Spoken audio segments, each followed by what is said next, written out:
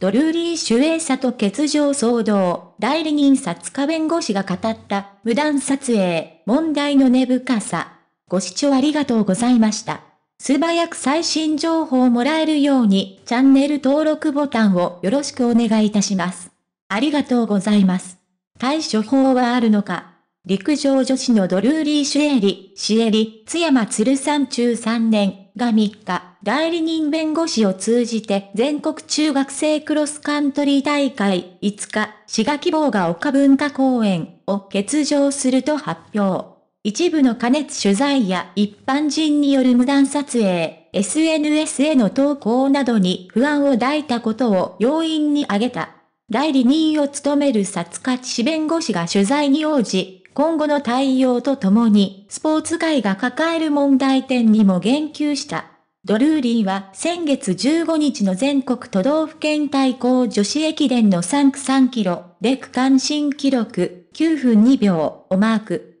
一躍脚光を浴びると、同29日の晴れの国岡山駅伝競争大会では沿道に多くの観客が訪れた。そんな中でも3区3キロで区間新記録9分40秒を叩き出したが、全国中学生クロスカントリー大会への出場を断念。ドルーリーは代理人の薩塚弁護士を通じたコメントで、先日の晴れの国駅伝を経験して、報道の方々への対応や、周りの方々からの撮影や声かけの対象にとても不安を感じましたので、やむを得ず琵琶湖黒館全国中学生クロスカントリー大会には出場しない決断をしました、と説明した。全国都道府県対抗女子駅伝ワン NHK で生中継されたこともあり、知名度が一気にアップ。これまでの環境が一変した。一部雑誌社の加熱取材や一般人の写真、動画投稿などに戸惑った。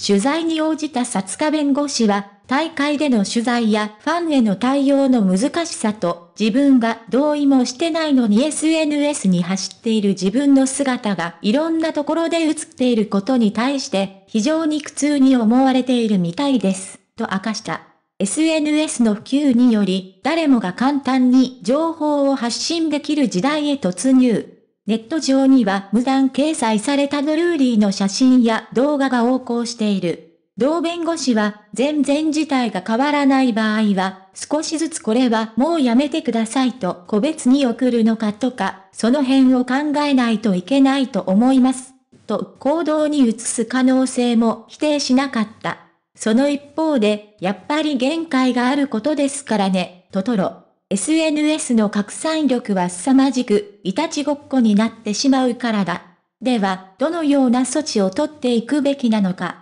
表現の自由と肖像権の問題でどこまで規制ができるのかとか勝手にドルーリーの写真や動画を使った人を訴えたら損害賠償責任が出るのかとか未開拓な部分が多いですよ、ねとした上で前からあったのに女性アスリートの競技の映像や写真については野放し状態ですよ、ね。競技団体としてどうするか、早急に考えた方がいいと思います、と提言した。現状では多くの女性アスリートが盗撮に悩まされている。薩家弁護士は競技団体の改善を待つだけでなく、私は私なりに色々経験を積みながら、ちょっと制度論的にも考えたいと思います。と意欲を示した。金の卵の成長を妨げる要因の一つ一つにメスを入れていく必要がありそうだ。中西隆史氏。ご視聴ありがとうございました。これからも一緒に応援していきましょうね。